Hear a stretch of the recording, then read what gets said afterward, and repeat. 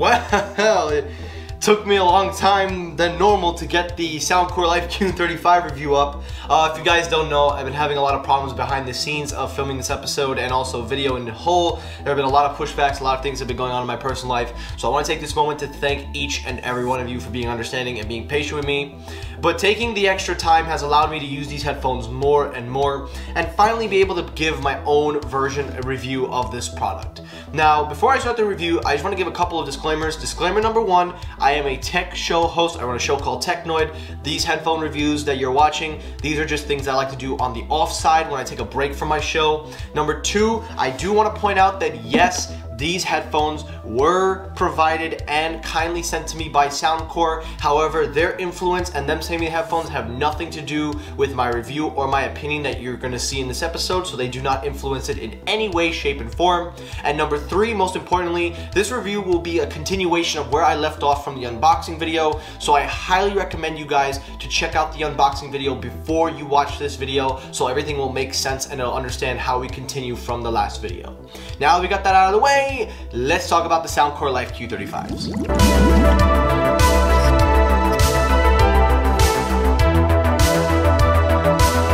So the first thing we're going to talk about with these headphones, the first thing that everybody wants to know is sound quality.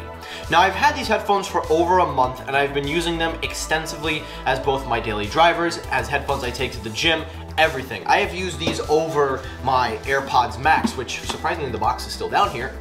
But I have used these over them and I am going to give you guys a full in-depth review about the sound. But before I talk about the sound, I want to disclaim something.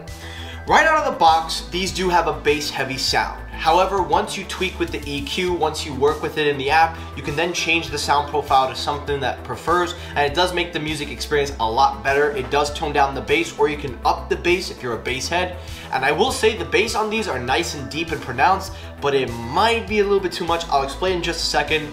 So here is my custom EQ. You can try it out for yourself if you guys are interested. Check it out, try and see if you like it. And here are some sound samples with the normal default out of the box sound, and then we will switch it over to my personal EQ.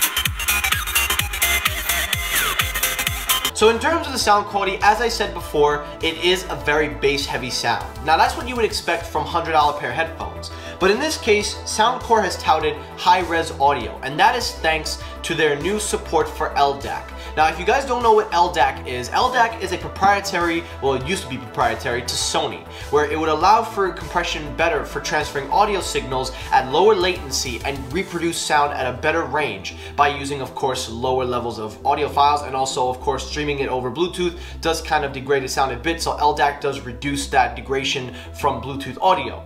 Now, I will say that unfortunately I have not had a chance to try them out with LDAC as I am not an Android user, but I have seen the results from LDAC users with Android, and sound quality does sound very similar, but there are noticeable differences. But focusing on sound quality as a whole, These things, like I said, bass heavy in the beginning, but once you tweak them, once you work it, it is so much better. The bass is nice and deep and pronounced, it has feeling to it. Once you tweak it, the mids and the treble are nicely pronounced in there, but sometimes the bass can leak a little bit too much into that, so they can kind of ruin the music if you're listening to certain songs, but overall, they sound very, very good. They're not terrible. I've heard a lot worse, I'm not gonna lie. These are nowhere bad. These are actually very nice to listen to once you tweak them. But I think out of the box, they definitely need to be tweaked, unless of course you're okay with the default sound signature. Now one of the cool things with the sound is of course the in-app support for EQs. EQs are nice and Soundcore gives you a lot of options with the EQs. So I really do like that fact and I really do appreciate Soundcore for adding more different types and styles for when you're trying to customize these bad boys. Now the next thing is noise canceling. Now for noise canceling, that is a little bit of a different story, but we're not gonna do it in here. So you know what? Let's take a trip to the park. Everybody come on, let's go. All right, so let's talk noise canceling. Now, not in my uh, studio, so decided to do the noise canceling out here because I feel like that's one of the number one things that people typically associate noise canceling headphones with, the outdoors. Well, when it comes to noise canceling, I gotta say, Soundcore has made some very good progress. They have some great noise canceling headphones.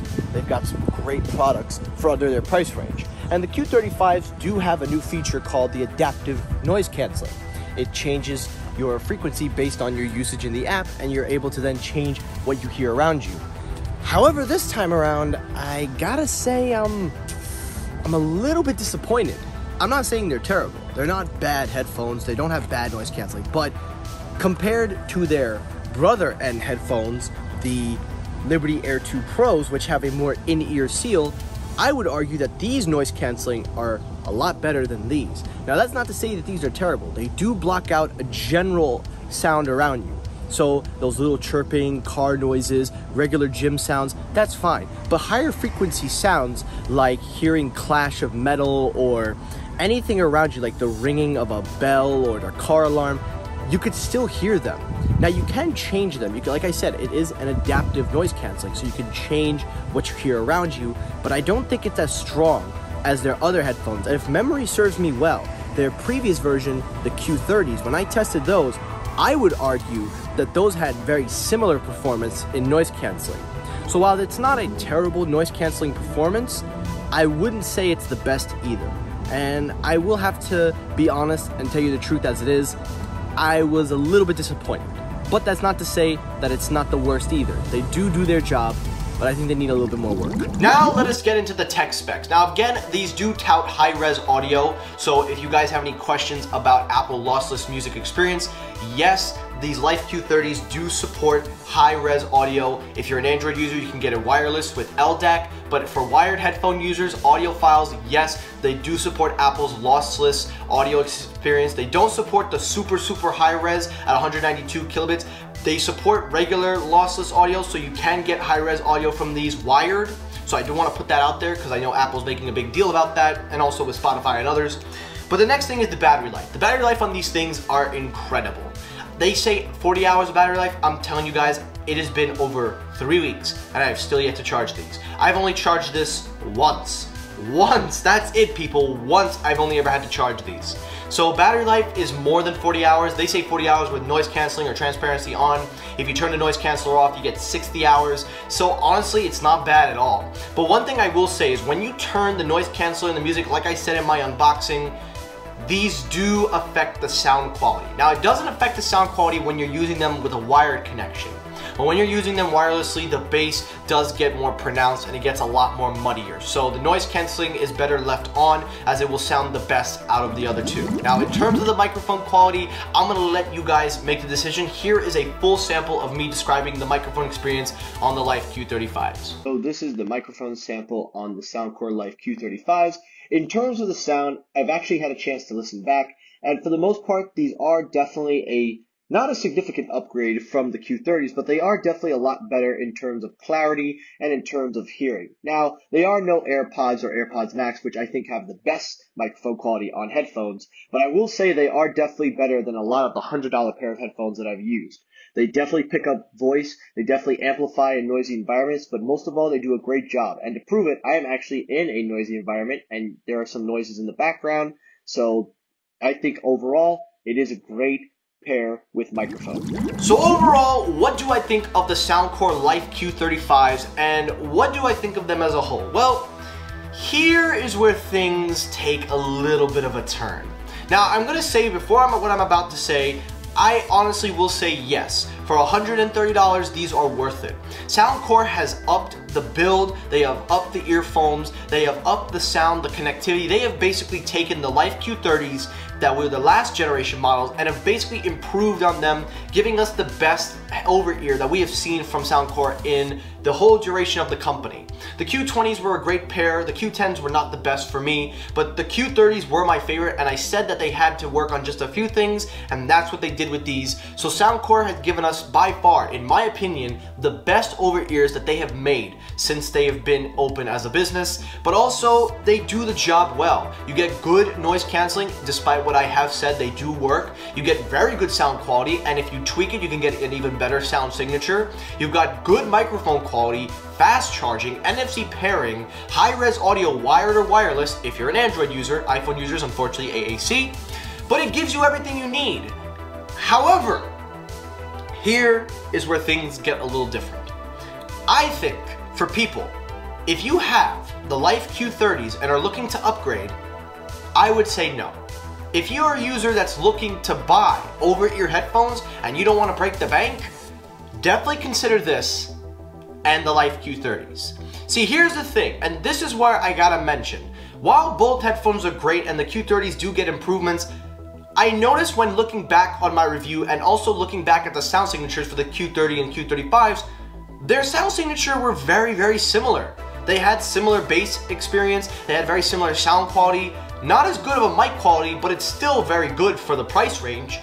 But one of the reasons why I say that is because the Life Q30s just recently got a price reduction to $80. These are $130. That's $50 cheaper. That's a whole $50. Imagine what you could do with $50. You could buy a lot of pizza for $50. But here's the other thing.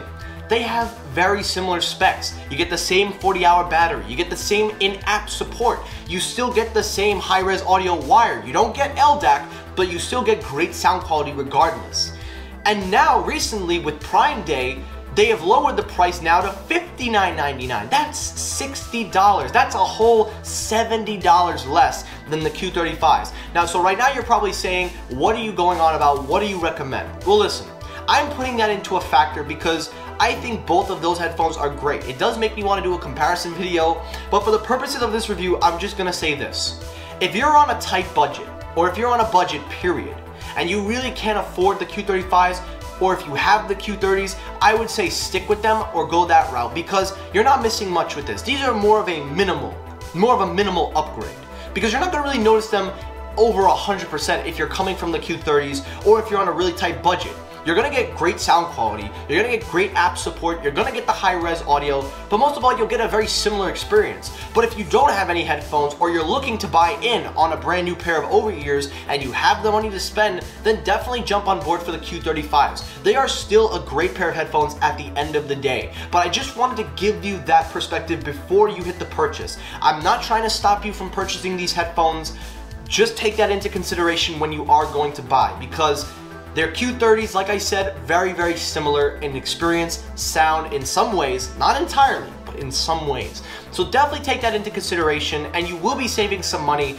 But overall, I definitely recommend these headphones if you are looking for a pair of brand new over-ears. The Life Q35s do come in a nice color too. They say black, this is nice navy blue. So I 100% recommend. I have no doubts this is a great pair of headphones and Soundcore, I just want to give you guys this message. You have shown us as an audio company, as everything. You have proven that you listen, you deliver, and you guarantee what you say. And to me, you are now my default audio brand. I used to buy from AKG, Apple, I still buy from Apple, and other companies. But now that I know that Soundcore has proven themselves, and I'm not saying this because they gave this to me free, I'm saying this from my experience. If you look at all my videos in the past, I've used nothing but Soundcore. You guys are my preferred audio, and you are going to be the audio product that I buy from this day forth. However, though, there is one headphone left in your lineup that definitely needs an update and I think you know which headphone I'm talking about. So I hope we get to see that update coming and write your comments down below if you wonder what headphone I'm talking about. And that is it for this review of the Life Q35s. Now guys, again, if you have any more questions or concerns, please write me in the comments. I will try my best to get back to you when I can. If you enjoyed the video, hit the like button. If you dislike the video, you can hit the dislike button. That helps circulate my videos as well. As always, everyone, thank you so much for watching. I will see you all in the next episode. Have a great rest of your day, guys. Take care, stay safe, and Peace!